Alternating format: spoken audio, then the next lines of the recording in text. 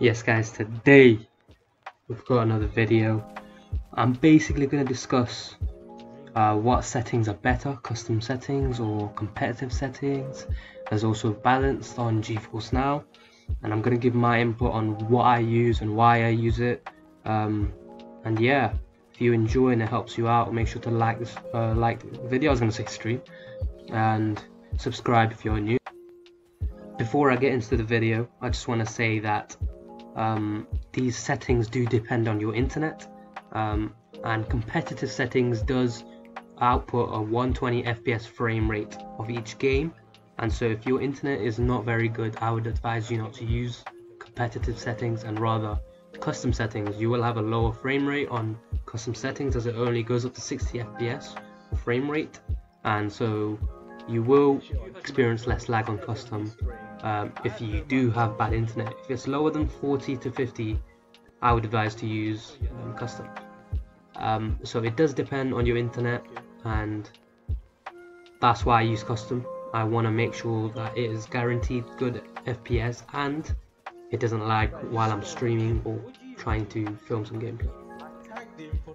For me, I've always used competitor settings, but now I've gradually moved into custom settings because I feel like they're better for me and my performance for the game and it helps my laptop run better in a way um, since the resolution is different to other computers and stuff like that. Um, but yeah, I'm just going to go through some advantages, disadvantages of both. So yeah, I'm just going to start with custom. Custom uh, that adjusts better to poor connection. Um, uh, I've compared it to com competitive for me, by the way. It's for me. Um, this might be opposite for you, depending on your internet. It depends on whether you're using an Ethernet cable or stuff like that or extender. Um, but for me, I've noticed that when I'm on competitive, I lag out a lot more. Um, so my screen will just come up with a message saying we're trying to put you back in the game. Um, but instead of doing that, it just kicks me out the whole game. So I have to restart my router, to disconnect my internet, stuff like that. Um, it also one other good thing is about custom is that you can adjust your laptop PC resolution. So I'm on 1920 by 1080, so I can instead of having to play with the default on competitive, I can change it to my liking, my you know laptop, um, to just feel a bit smoother. Uh, I've heard that it does help with lag if you play with a uh, lower resolution, but it helps me either way on 1920 by 1080. Um, also on custom you're able to adjust your frame rate. Everyone should know this it's on the settings. You can um, adjust it uh, it'll help your performance. Overall if your internet's kind of trashy sometimes especially with the virus right now a lot of people on the internet using up all the internet um, some some providers throttle your internet lower so that you lag um, so you stop stop using the internet in a way. Um, also you can adjust the bitrate which is good um, you can adjust the quality you want. Lower it if you have bad internet and um, increase it if you have good internet. But there's also custom settings. Um, I've noticed that I do get higher frames. Um, obviously that might be to do with the resolution going down. I've heard that it does lower it like I said before. However um, I've noticed that competitive does depend more on internet. This might not be right, but I feel like it does.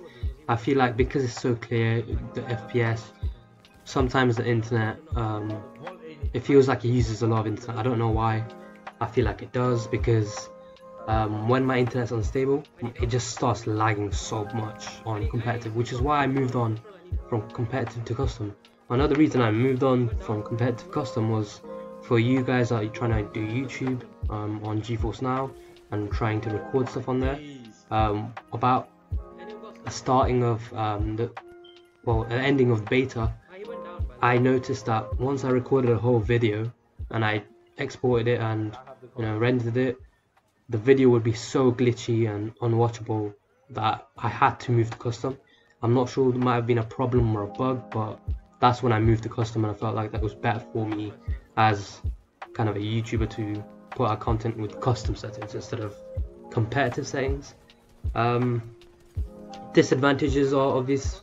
You can't, you know, you can't customize your stuff.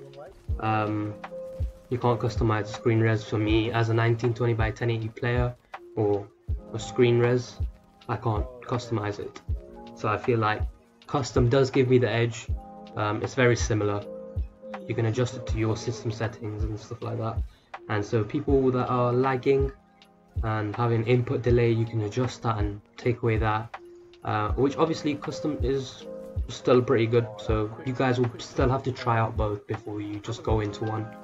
Um, but yeah, I use custom settings. If you want to see my custom settings, I might link it in the description or just check out my channel. Uh, we've got loads of videos and tutorials on how to know, enhance your performance on GeForce Now. If you need any help, make sure to join my Discord server and follow me on Instagram. Um, and yeah, that's all it for today. I've got some Valorant gaming or Valorant game um, gameplay coming up in the next couple of days. I will see you when I upload it. If you also want to see that, make sure to like and comment um, what you want to see.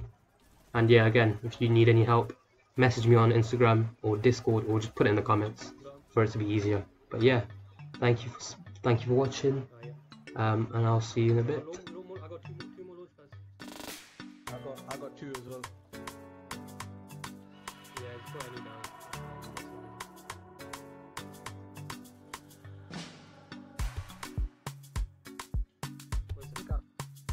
Yeah, pickaxe, pickaxe. Yeah, we have to get them low first.